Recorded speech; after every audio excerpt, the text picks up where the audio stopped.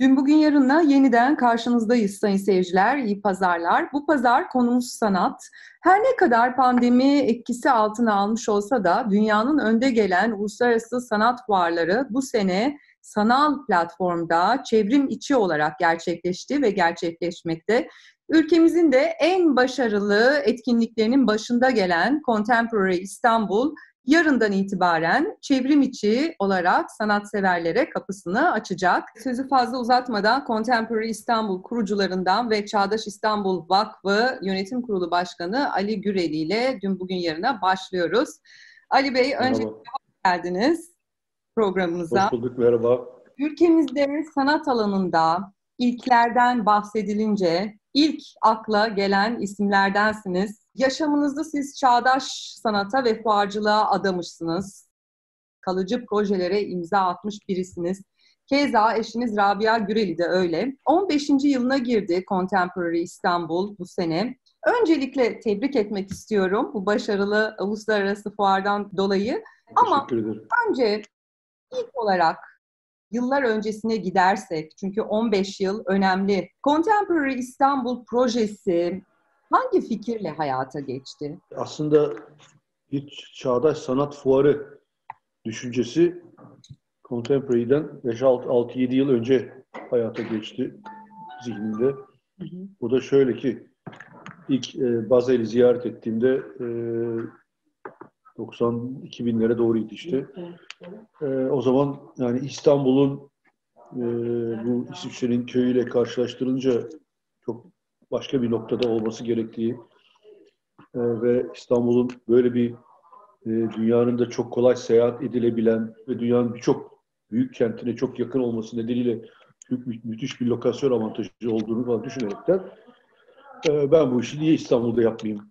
Bu işin mutlaka İstanbul'da yapılması lazım diye yola çıktım. O zamana kadar öyle bir şey aklımızda yoktu. Sonra e, Contemporary İstanbul önceki, önceki dört yıl hı hı. yani 2, 3, 4, 5 2002 ve 2005 arası biz Art İstanbul adlı bir fuar yaptık. Ve zaman içinde e, Art İstanbul'u Contemporary İstanbul'a dönüştürmeye karar verdik.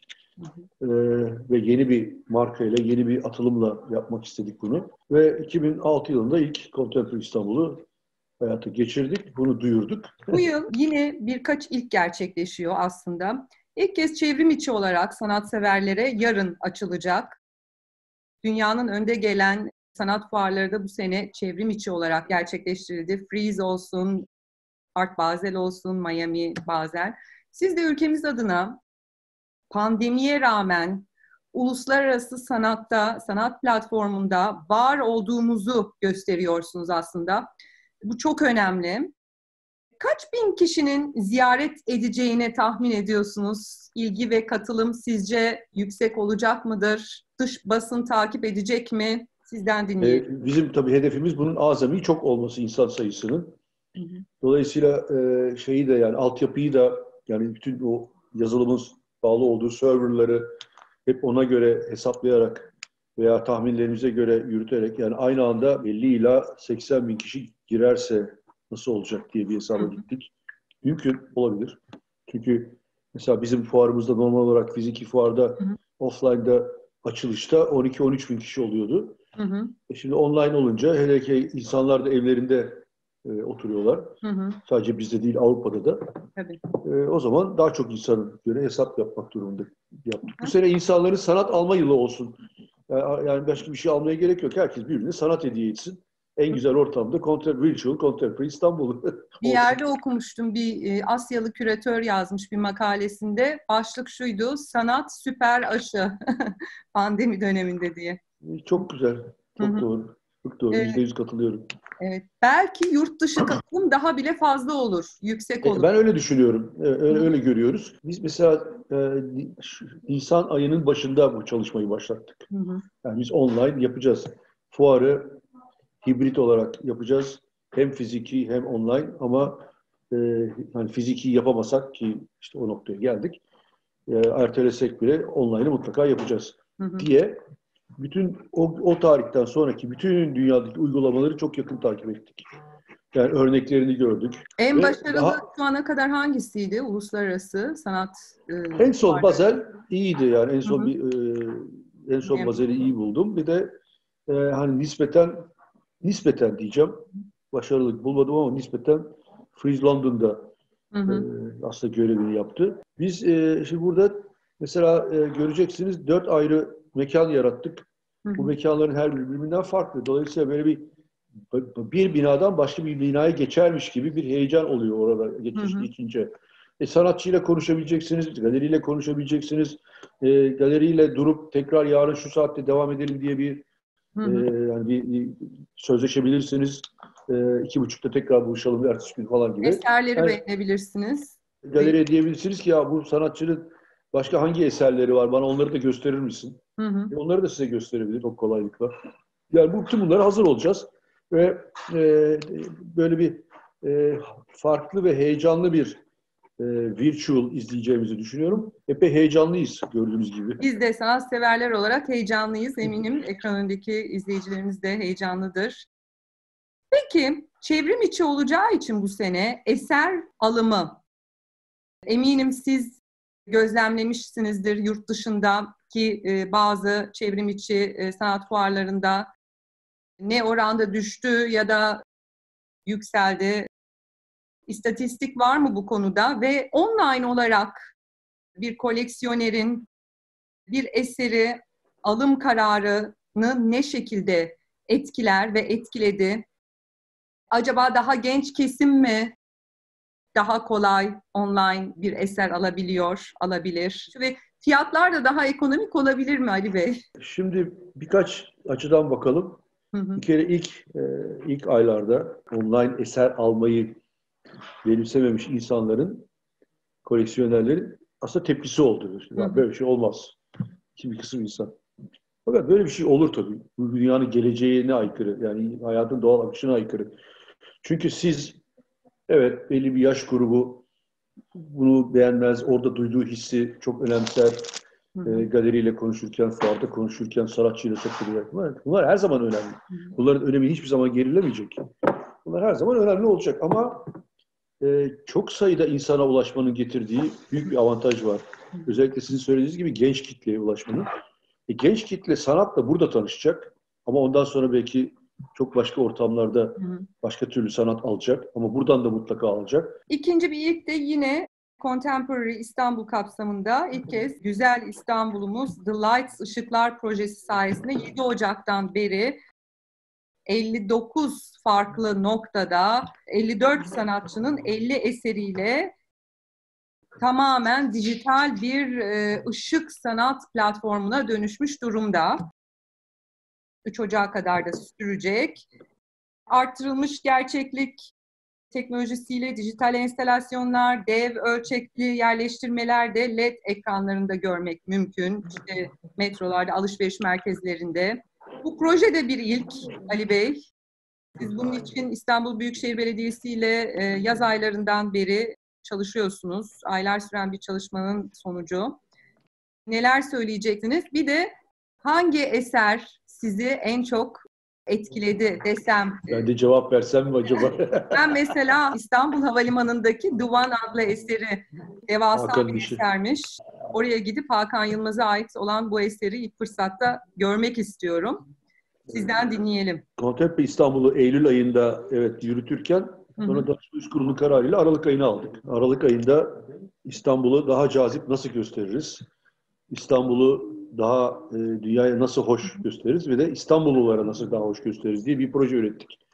Bu projenin ismi aslında Aralık'ta İstanbul'du. Hmm. Yani December in İstanbul dedik. Ve hatta o zaman tabii ki pandemi ortamının daha e, yumuşak olacağını, hı. e, azalacağını, yani aralığa doğru daha da olumlu olacağını düşünürüm. Acaba İstanbul'a daha fazla insanın seyahat etmesini de teşvik edebilir miyiz diye düşündük. İstanbul Delights e, tamamen ilk İstanbul Işık Festivali gibi düşünün. Hı hı. Biz bunu 2014'te de düşünmüştük ama olmamıştı bir şekilde bir teknik bir arızadan dolayı. Ama bu sene e, çok çok iyi oturdu ortama ve e, herkesin işte böyle ilgisini çekmesini, herkesin biraz işte metro ekranlarında, metrolardaki ekranlarda yahut da LED ekranlarda yahut da çeşitli noktalarda izlemekten dolayı Hı hı. biraz zihnini farklı çalıştırdığı, biraz daha olumlu düşündüğü, e, yani bir rahatlama ortamını aslında İstanbullulara sunmaya çalıştık. Burada İstanbul Büyükşehir Belediyesi'nin çok önemli bir katkısı, sponsorluğu gerçekleşti. Böyle bir etkinliği İstanbul'a kazandırmış oluyoruz hep birlikte. E, ve önümüzdeki yıllara da çok daha geliştirerekten, hı hı. hayal etme ve daha geliştirerekten yapma e, dürtüsünü bize veriyor, motivasyonunu bize veriyor bu, bu işbirliği. Onun için çok memnunum. E, önümüzdeki yıl e, ilk, ha, şunu söyleyeyim, mesela bu sene bu 54 sanatçının tamamı kendi sanatçılarımız, e, Türk sanatçıları. Bu iki, iki yönden önemli. Nedeni bir, e, bu sanatçılara destek olmak, bu sanatçıların varlığını bütün İstanbulluların Türkiye'nin öğrenmesini ve bu kadar kıymetli bir sanatın aslında ne kadar yüksek seviyede üretildiğini görmeleri. Ama bunun yanında buna ilaveten de dünyadan da insanların Türkiye'de böyle bir teknoloji merkezli, teknoloji odaklı bir sanatın ne kadar gelişmiş olduğunu da görmeleri ve bu sanat bu sanatla uğraşan insanlar için ve bu sanat sektörü için çok bir, bir, bir aşamadır bu, bir basamaktır, bir büyük bir adımdır yani merdivenini çıkarken. Ne güzel İstanbul sokakları da hepimizin içinde burukluk hissettiği bu günlerde o yalnız kalmış, boş kalmış sokaklar ışıklar sayesinde hem yeni yıla yaklaşıyoruz, hepimize umut veriyor. Bu, bu 54 sanatçı hı hı. ve tabii onlarla beraber e, iki, iki küratörümüz e, çok özverili, çok önemli bir iş yaptılar. Ayça ve Esra. Hı hı. Hepsine teşekkür borçluyuz. Bizim ekibimiz Contemporary İstanbul Vakfı ve Contemporary İstanbul ekipleri birlikte çalıştılar hı hı. bu, bu projede ve onlarla birlikte çok müthiş bir ekip çalışması çıktı ortaya diye görüyorum. Memnunuz. Çok teşekkür ediyoruz ve tebrik ediyoruz. İnşallah hem şehrimiz her sene bu güzel sanat gösterisini izlesin, yabancılar daha çok gelsin pandemi bittikten sonra çok teşekkür ediyoruz e, Contemporary İstanbul ve Çağdaş İstanbul Vakfı Yönetim Kurulu Başkanı Ali Güreli. İkinci konuğumuz İstanbul Delights projesi kapsamında eseri sergilenecek olan önümüzdeki salı günü ve çarşamba günü sergilenecek olan daha doğrusu bir ışık e, gösterisine imza atacak değerli sanatçımız bizi uluslararası alanda da çok e, büyük başarılarla temsil eden sanatçı ve yaratıcı teknoloji uzmanı Memo Akten şimdi karşımızda. Memo Merhaba. Bey merhabalar. Öncelikle teşekkür ediyoruz e, değerli vaktiniz için, dün bugün yerine katıldığınız için. İlk olarak arkanızdaki bir eseriniz sanıyorum. Onunla başlayalım. Arkamdaki e, Fight denilen e, yani dövüş diye bir e, virtual reality e, nedir sanal gerçeklik e, projesi yapmıştım birkaç yıl önce. Burada işte gördüğünüz aslında bunun e, özelliği iki göz bambaşka bir şey görüyor. Hı hı. Yani buradaki sol taraftaki kare sol göze gidiyor, sağ taraftaki kare sağ göze gidiyor. Hı hı. E, ve böyle olduğunda e, beyin ne yapacağını bilemiyor. Hı hı. E, yani belki insan düşünür ki beyin ikisini üst üste koyar. Hı hı. Ama öyle yapmıyor. Ee, anlatması çok zor şeyler oluyor kafanın içerisinde. Öncelikle onu arka plana koyduğunuz için teşekkür ediyoruz. Biz ve izleyicilerimiz de bir sanat şöleni yaşıyor pazar günü. Siz dünyayı ve bizlerin dünyadaki konumunu hem anlamaya çalışan hem bunu eserlerinizde yansıtan ve anlatan e, bir sanatçısınız. Yaşadığımız bu döneme dair Yorumlarınızı çok merak ediyorum. Bu konuyla ilgili düşünceleriniz değişti mi? Eserlerinize ne gibi yeni unsurlar, fikirler kattı? Yeni bir teknik geliştirdiniz mi? Ee, biliyoruz yıllardır hem yapay zeka ile hem augmented reality ile birlikte birçok teknolojiyi karıştırarak, harmanlayarak eserlerinizi ortaya çıkarıyorsunuz. Çünkü bu dönem aslında teknoloji, elektronik, telekomünikasyon gibi sektörler çok olumlu etkilendi. Birçok sektörün aksine. Siz zaten teknolojiyi yıllardır sanatınızla var eden, kullanan bir sanatçısınız. Sizi dinleyelim. Enteresan bir durum yaşıyor dünya şu an. Um, enteresan bir şekilde 100 sene önce de yaşandı. Hı hı. Uh, bu bunun çok benzeri. Ama tabii o zaman şartlar, koşullar çok farklıydı. O zamanlar uh, Skype vesaire falan yoktu.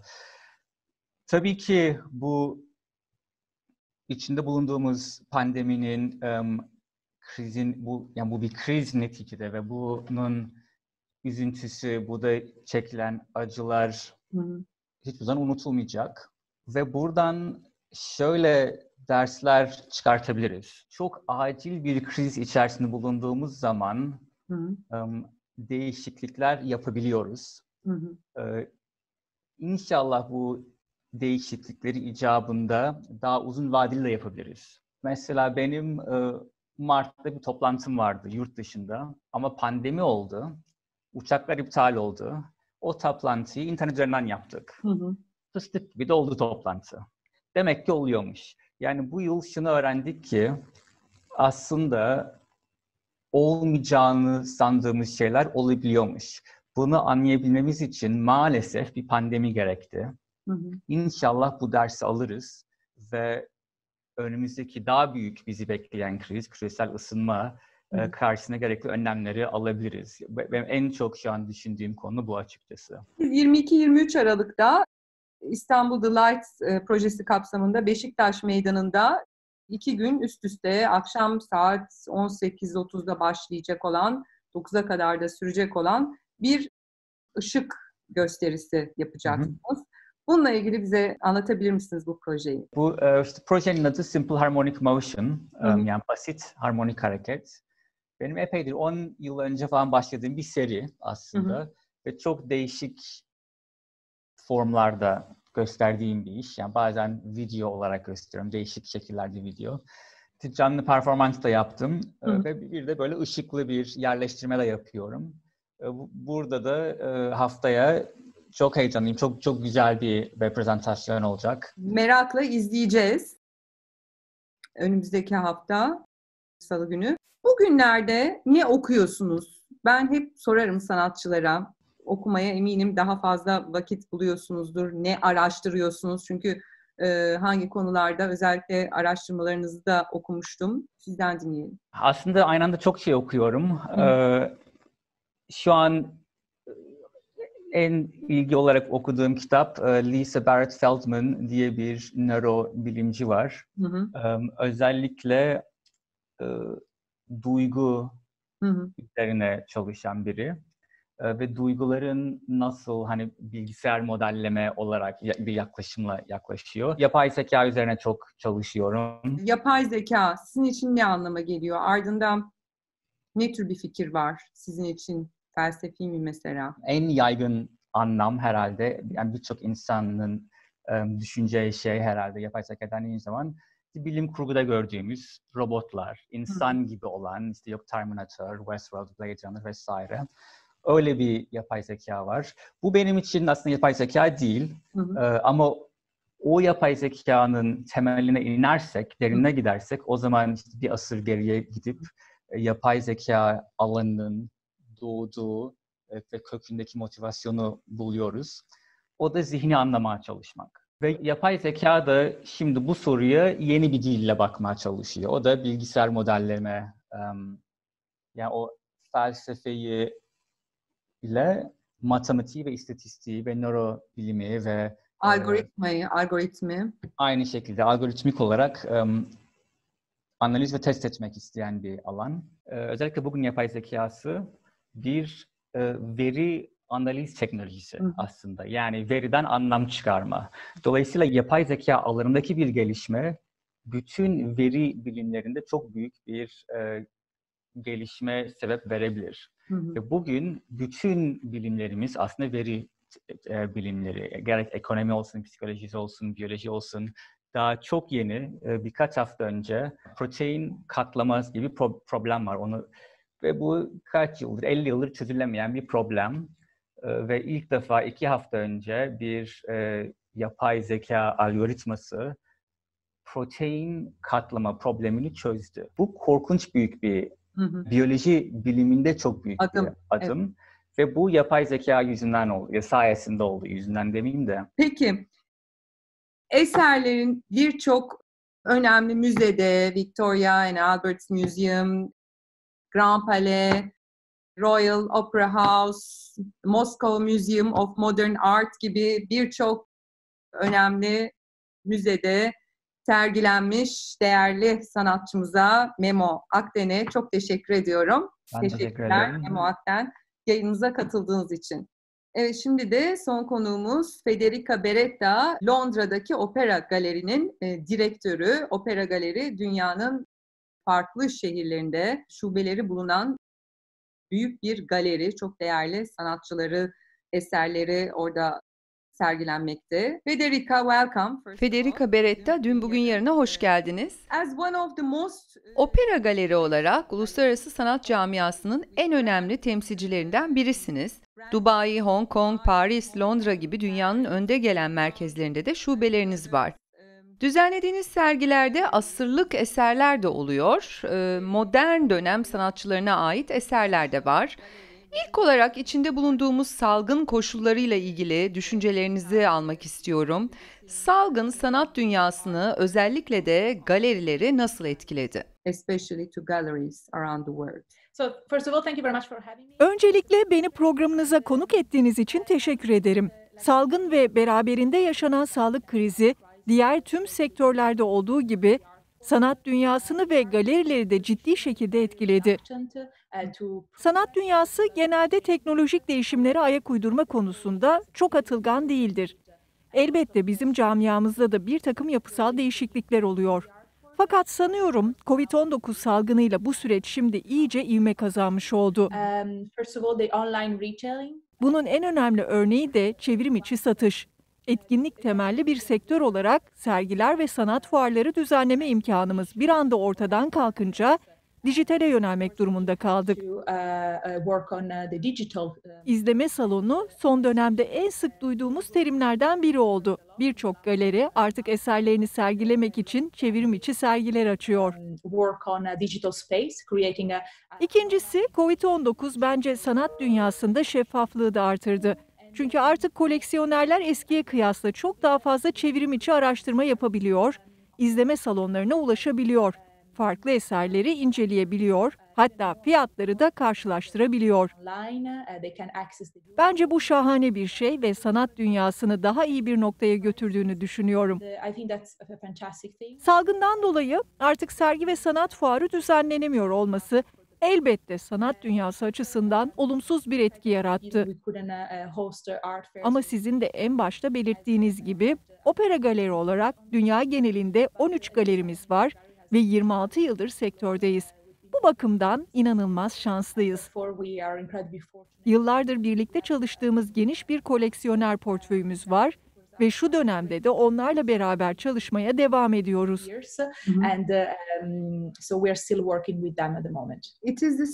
Siz Opera Galeri olarak Contemporary İstanbul'a ikinci kez katılıyorsunuz bu sene. İlk ne zaman katılmıştınız? Bize hem biraz bundan hem de uluslararası bir galeri olarak Contemporary İstanbul'un sizin için ne ifade ettiğini anlatabilir misiniz? Sizce Contemporary İstanbul uluslararası sanat camiası için neyi simgeliyor? Contemporary İstanbul. So yeah, we participated approximately six years ago. Contemporary İstanbul'a ilk kez 6 yıl önce Dubai şubemizle katılmıştık. Bu yılsa Londra şubemiz katılıyor. Son dönemde Londra'daki şubemize ilgi gösteren Türk koleksiyonerlerin sayısındaki artış bu kararı almamızda etkili oldu. İstanbul'u sanat dünyası açısından son derece ilgi çekici bir pazar olarak görüyoruz. Gerek devlete ait, gerekse özel çok sayıda müze var. Bunun yanında Türk koleksiyonerler son derece bilgili ve koleksiyonlarına da büyük bir tutkuyla yaklaşıyorlar. Onlarla çalışmak büyük bir keyif. Contemporary İstanbul'u da hem Türk koleksiyonerlerle irtibatımızı sürdürebilmek hem de yeni koleksiyonerlerle tanışmak açısından muazzam bir fırsat olarak değerlendiriyoruz. Uh, uh, Peki Türk koleksiyonerler haricinde diğer uluslararası koleksiyonerlerinizi de Contemporary İstanbul'un çevrim içi sergisine davet ettiniz mi? Um, Elbette. Katıldığımız her çevrim içi sanat etkinliğinde dünya genelindeki tüm müşterilerimize bir bülten ve katalog gönderiyoruz. Avustralya'dan Amerika Birleşik Devletleri'ne, Tayland'dan Çin'e, Lübnan'a kadar dünyanın her yerinden müşterilerimiz var. Evet bu talihsiz yılın son günlerini yaşıyoruz. 2021'e de az kaldı. Tüm dünya e, olarak 2021'e dair büyük umutlarımız var.